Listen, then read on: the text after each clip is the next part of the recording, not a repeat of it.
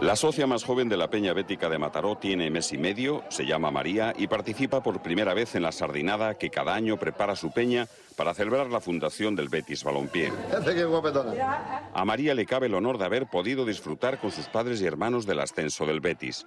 A lo mejor no pudo ver el partidazo del mes de abril contra el Barça B en Barcelona, pero estar estuvo. Está saltando dentro. Antes estaba dentro y ahora ya está fuera como tantos y tantos béticos catalanes que anoche hicieron ostentación un año más de esa especie de virus incurable verde y blanco.